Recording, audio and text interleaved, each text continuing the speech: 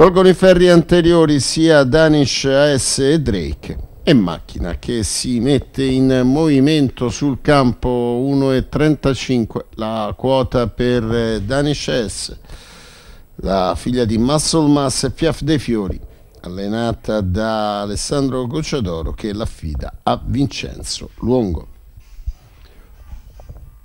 Schieramento che si va lentamente componendo partito un po' arretrato Duca del Bar che ora raggiunge gli altri quando la macchina prende ovviamente ad accelerare. Si ritrae Drake che rinuncia al lancio. Stacco che è avvenuto in questo istante con eh, all'esterno il tentativo di Danish di sopravanzare Dylan Chris. Intanto c'è stata la rottura e la conseguente squalifica di Duca del Bar e quindi Danish S leader nei confronti di Dylan Chris e poi ancora Darwin Caff e quindi Drake. I quattro in fila indiana al completamento del primo quarto di gara che è già in rallentamento da parte del battistrada, della battistrada Danish S che ora giunge al paletto dei 600 saldamente al comando sempre nei confronti di Dylan Chris.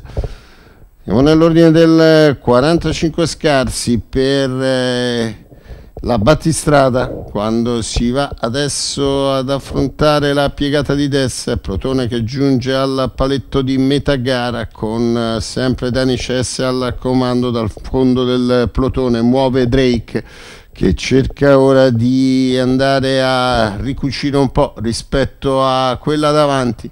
Così si arriva al chilometro che però vede Dani Cesse in accelerazione.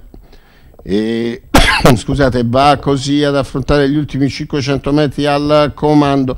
Intanto Drake è al lato di Dylan Chris, mentre più indietro Darwin Cuff, eh, Dani Chess a metà della piegata conclusiva, 3 di margine nei confronti del resto della compagnia, dalla quale prova ad emergere Drake ma in retta d'arrivo allunga Danish S aumenta il proprio vantaggio. Drake che ha debellato la resistenza di Dylan Chris prova a fare lo spunto Darwin Cuff ma per il primo posto non ci sono discussioni. Danish S ha risolto la partita da parecchio e viene a concludere nei confronti di Drake e Darwin Cuff 42 spaccati per gli ultimi 600 metri di Dani Chess, sicuramente in palla la figlia di Muscle Mass e Piaf De Fiori, presentata in ottima condizione questa volta dal team Gocciadoro per i colori dell'Horse Club Monte Giorgio, la guida di Vincenzo Longo che nel finale